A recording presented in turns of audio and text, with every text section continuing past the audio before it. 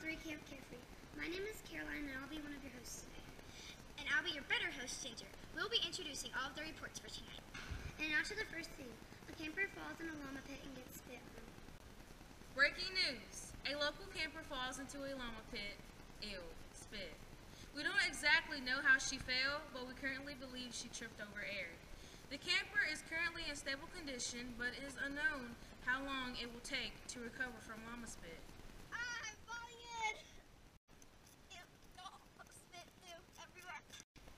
Absolutely tragic to watch. The llama slowly opened its mouth and then the spit just came at her. I can't believe that happened at my camp.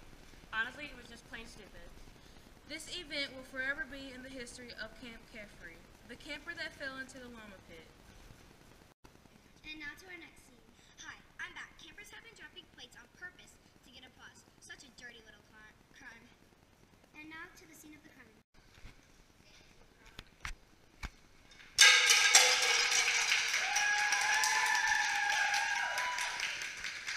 Just an accident. I'm sorry. I didn't mean to. I'm here on the scene where campers are purposely dropping plates to get applause. Selfishness is a dangerous crime. Now over to the first counselor as a witness. Thanks for having me. What do you have to say about this crime?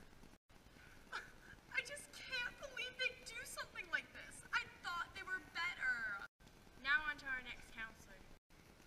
Hey, Why do you think they did this? I think they did this because of sass, but I didn't know where they got that sass from.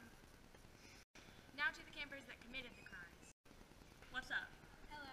Why did you commit such a crime? All I did was drop a plate. I deserved to be in the spotlight. Now back to the studio. Welcome back, campers and counselors. It is a sad, sad time. Four campers and counselors are being held hostage.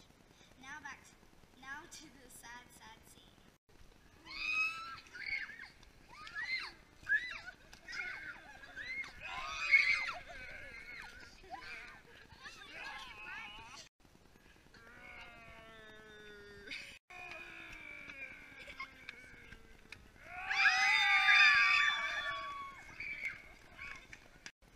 Earlier this evening, Cabin 2B reported three campers and one counselor missing.